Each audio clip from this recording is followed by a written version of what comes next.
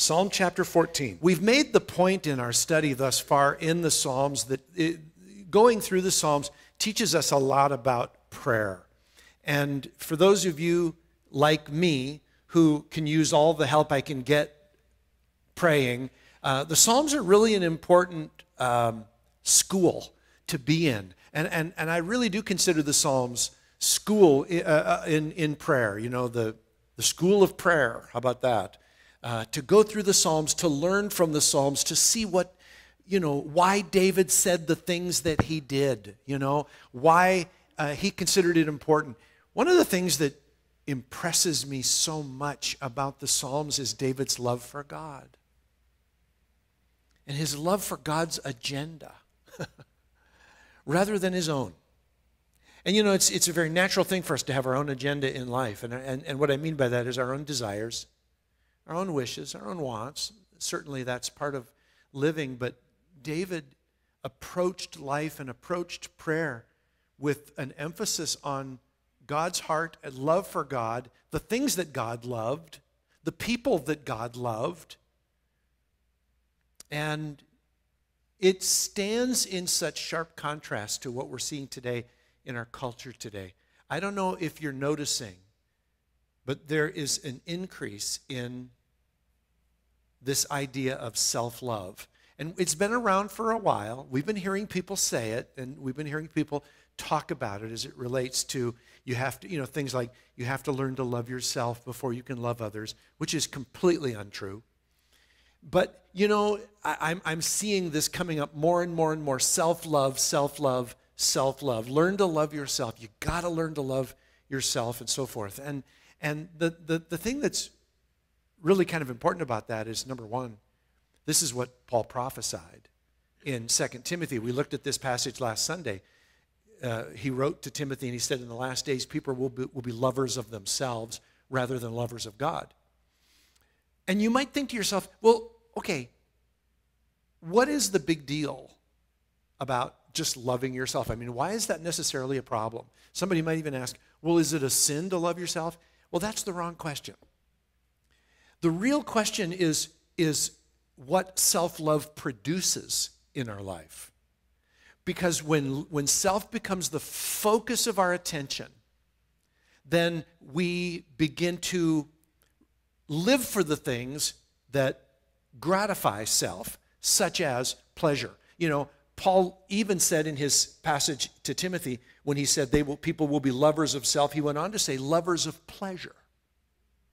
And you see, that's a byproduct of the love of self. It comes out of it because the more I focus on me, the more I want to make me happy. And of course, pleasure makes me happy. And so I'm going to run after personal pleasure, right?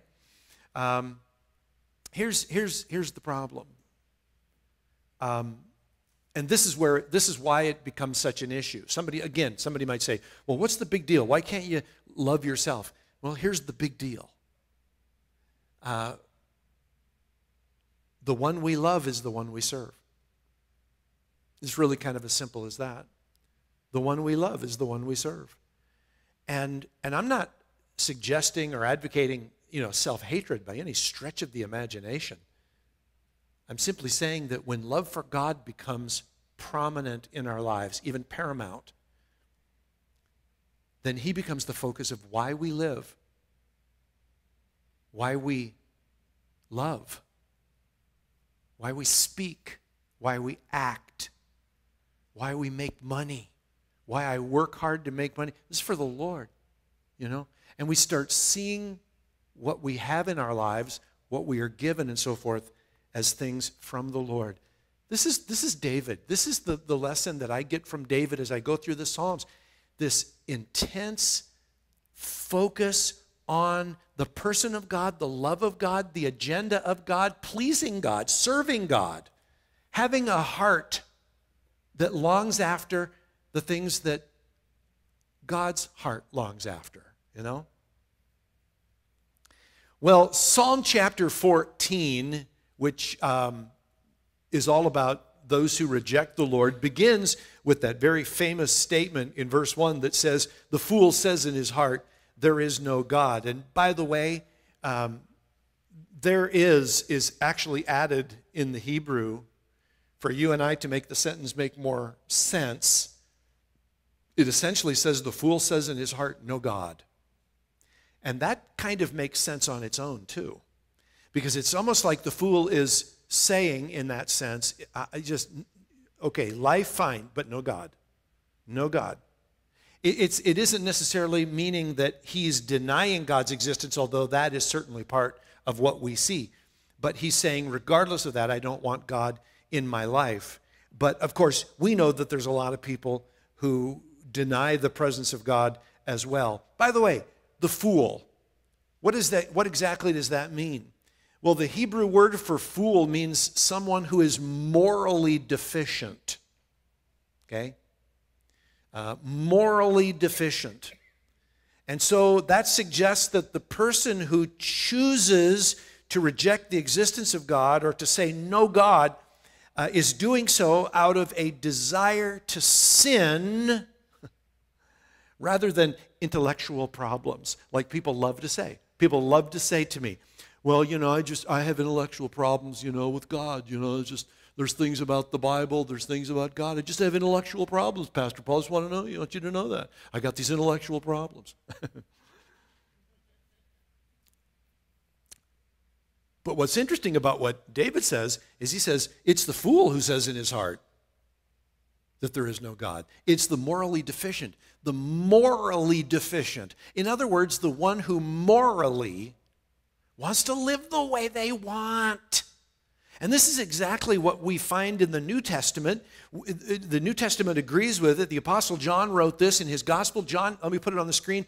John 3:19 out of the NIV it says, "This is the verdict. Light has come into the world, but men love darkness." This is simple. Did, does this mean that people can't see the light? No. It just means they choose to they, they choose to reject it because they just love the darkness. And here's the deal. Here's the deal that we all have to understand. The heart of man is drawn to darkness. You need to understand that going into it. Because if you don't understand that as a Christian, you're going to be sorely disappointed when it when it plays itself out in your life. And this happens sometimes in in, in the lives of brand new believers somebody comes to Christ and they go through that time of just that effervescent joy all over the place, and then they fall headlong into some of the same garbage that they were wallowing in before they knew Jesus, and they're, they're like, Pastor, what happened? It's like, what happened? You know, listen, the heart longs after darkness. You know? And that that is the that sinful nature. And frankly, the more we embrace the darkness, the more we're drawn to embrace the darkness. It's kind of like the snowball effect, you know? So think of it this way here we are living apart from Christ, focusing on embracing the darkness. So, what do you suppose a person like that, what do you suppose their response is going to be when somebody comes along who knows Jesus and wants to tell them about the light of Christ? Somebody is literally living in that constant embrace of darkness, and somebody comes along and says, What do you know about Jesus? Can I tell you about him? And what's their response? It's like, I don't want to hear that. You know? And they and they reject it. They, you know, they want nothing to do with it. And and and so they go on to justify their choice by saying stupid things like, There is no God, when they know full well that there is. And that's why John goes on to say, let me put this rest of it from John chapter 3. Everyone who does evil, John writes, hates the light and will not come into the light for fear that his deeds will be exposed. People don't want to come into the light, right? Because they've been embracing darkness. They're living in the midst of that darkness. They have no desire to come into the light and and they don't want their their their deeds exposed. Have you ever thought about why people don't want their deeds exposed? Have you ever have you ever thought about why people get angry when we talk about Jesus or talk about the light of his presence and things that are right and wrong? Boy, you know, we come into this culture that wallows in darkness and we start talking about right and wrong. It's like, how dare you talk about morality? you know, in, in, in the world in which we live. Have you ever wondered why people get so angry? And, and, and they're just so, you know, they lose their temper.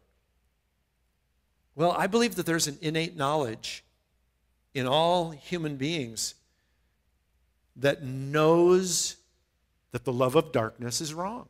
We know it deep down. We can suppress it, but we know it.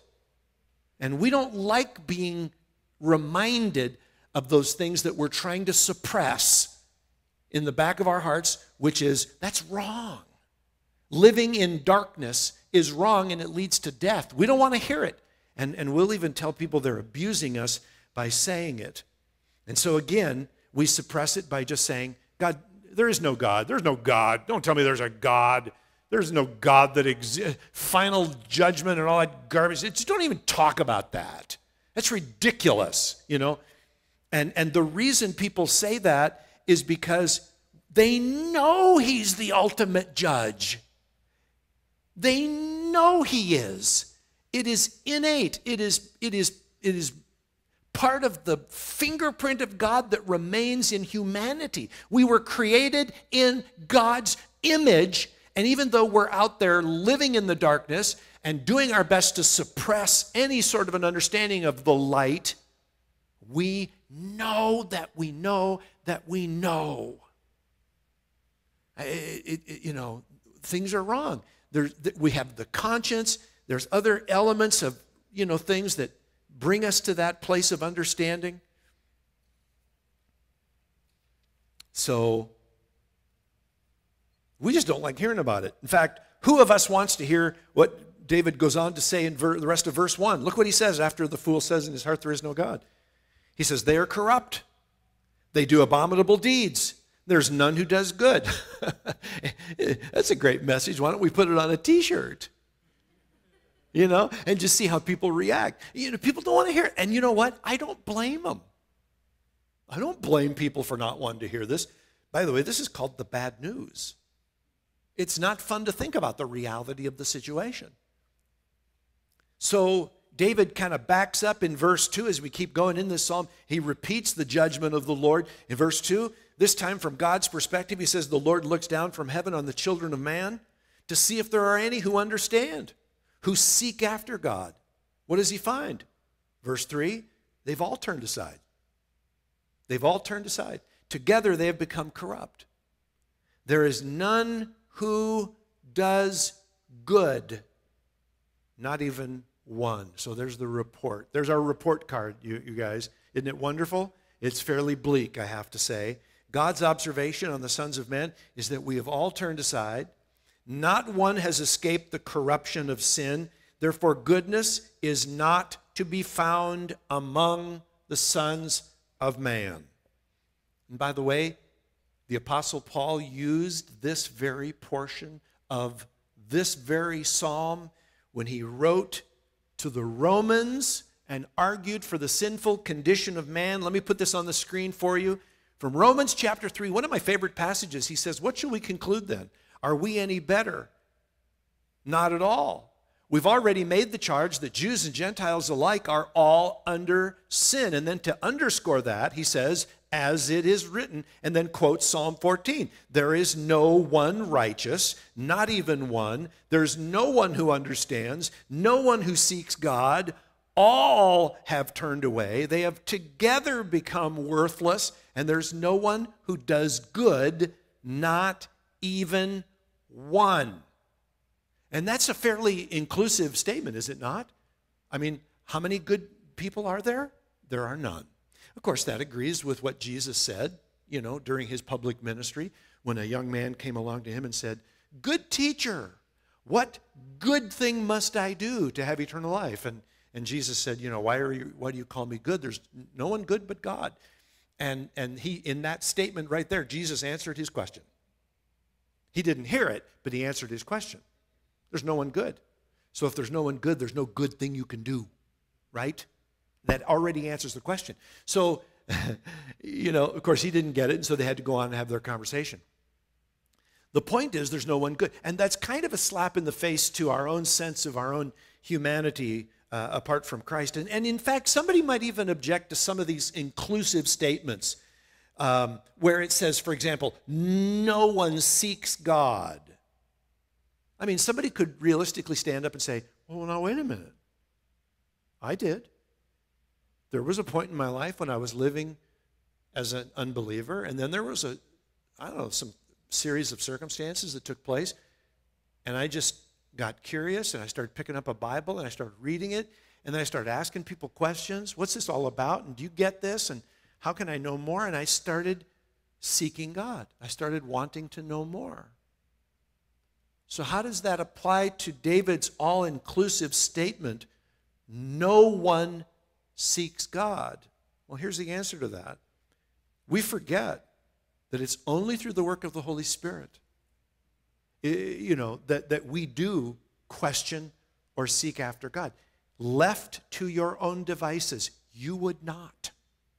What, what David is outlining here is man in his base condition, apart from any grace of God. Now, when the grace of God comes into our lives, we will do all kinds of things to move toward God, but it's because of His grace. Let me show you this statement from John 6 44. No one, Jesus speaking here, no one can come to me unless the Father who sent me draws him, and I will raise him up on the last day. So, what is Jesus saying? It's a work of the Spirit. It's a work of God's Spirit in our lives through the, the, the Father, you know, that we even have, that we're even drawn to a sense of questioning or a sense of seeking. Okay? Apart from that, no. No. And that's humbling. That's humbling. People, let me say it clearly.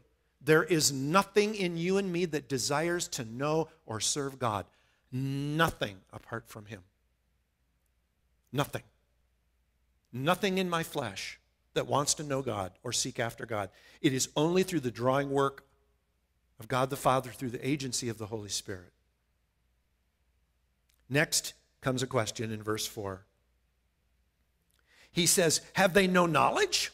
All the evildoers who eat up my people as they eat bread and do not call upon the Lord? This is an interesting question because as David kind of thinks about the way of godless people, people who are foolish, again, morally deficient, and have rejected God, he, he thinks about the ways that they're always attacking those who do love the Lord, who have come to a saving knowledge of the Lord. And the psalmist wonders here, kind of incredulously, whether these people have any knowledge at all. In other words, don't they realize that their persecution of God's people is going to increase their judgment from the Lord, you know? Um, and, and here they are denying the Lord on the one hand and then persecuting the Lord's people on the other, you know? And then David goes on, as he does in many of his prayers, and speaks a word of faith here in verse 5. He says, There they are in great terror, meaning there in the judgment of the Lord. For God is with the generation of the righteous. You would shame the plans of the poor, but the Lord is his refuge. And this is where David expresses, you know, his trust in God. And he speaks of God's ultimate judgment as if it were already meted out and he says in verse 7 Oh, that salvation for Israel would come out of Zion. When the Lord restores the fortunes of his people, let Jacob rejoice, let Israel be glad. And so this final verse is a, a looking toward and a longing sort of a way for the day to come when the Lord will deliver his people and they will rejoice in untold blessing.